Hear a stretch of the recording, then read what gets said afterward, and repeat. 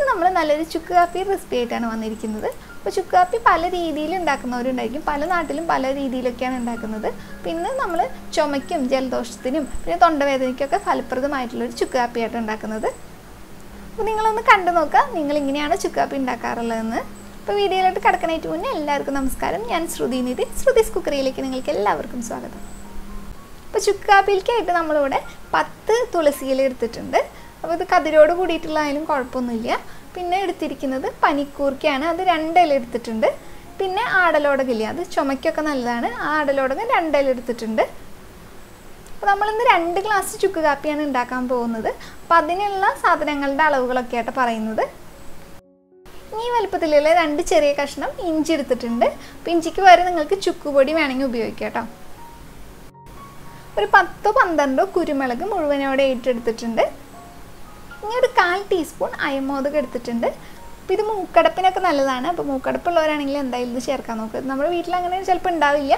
പുറത്തുനിന്ന് നമുക്ക് വാങ്ങി കിട്ടും ഇനി നമ്മൾ ഈ പറഞ്ഞിട്ടുള്ള ആറ് സാധനങ്ങളും കൂടി നന്നായിട്ടൊന്ന് ചതച്ചെടുക്കുക അപ്പോൾ ചതച്ചിട്ട് ചേർക്കുന്നതായിരിക്കും ചുക്ക് കാപ്പിയിലേക്കൊക്കെ നല്ലത്?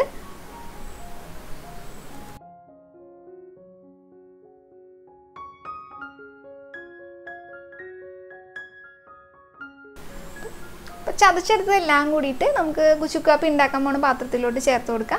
അതിനുശേഷം അതിലോട്ട് ഒരു കാൽ ടീസ്പൂൺ മഞ്ഞൾപ്പൊടിയും കൂടി ചേർത്ത് കൊടുക്കുക.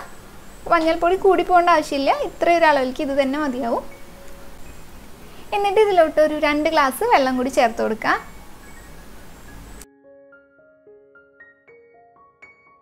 ഫ്ലെയിം ഓണാക്കി കൊടുത്തിട്ട് ഇത് നന്നായിട്ട് തിളപ്പിക്കാനായിട്ട് വയ്ക്കുക ഈ സമയത്ത് ഇതിലോട്ട് നമുക്ക് ഒരു ചെറിയ കഷ്ണം കുടംപുളിയും കൂടി ചേർത്ത് കൊടുക്കാം അപ്പോൾ തൊണ്ടവേദനയ്ക്ക് കുടംപുളി നല്ലതാണ്. അതുകൊണ്ട് തൊണ്ടവേദന ഉള്ളവരാണെങ്കിൽ ചുക്ക് കാപ്പിയിൽ കുടംപുളിയും കൂടി ചേർക്കാൻ നോക്കുക. അപ്പോൾ അങ്ങനെ ഇതുപോലെ നന്നായിട്ട് തിളയ്ക്കാൻ തുടങ്ങിയതിന് ശേഷം ഒരു ഏഴോ എട്ടോ മിനിറ്റ് ഇത് നന്നായിട്ട് തന്നെ തിളപ്പിച്ചെടുക്കുക. അപ്പോൾ ഏഴ് മിനിറ്റോളം നമ്മൾ ഇതുപോലെ തിളപ്പിച്ചതിന് ശേഷം നമുക്ക് ഇതിലോട്ട് കുറച്ച് ശർക്കരയും കൂടി ചേർത്ത് കൊടുക്കാം.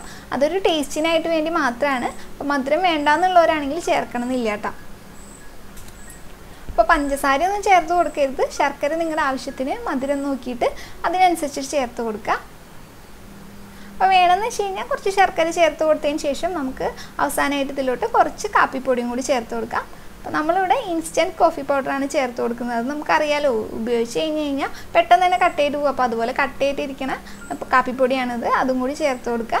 അതും ഒരു ടേസ്റ്റിനായിട്ടാട്ടോ നമ്മൾ ചേർത്ത് കൊടുക്കുന്നത്. ഇത് നിർബന്ധമൊന്നുമില്ല. ശർക്കരയും കാപ്പിപ്പൊടിയും നിർബന്ധമല്ല.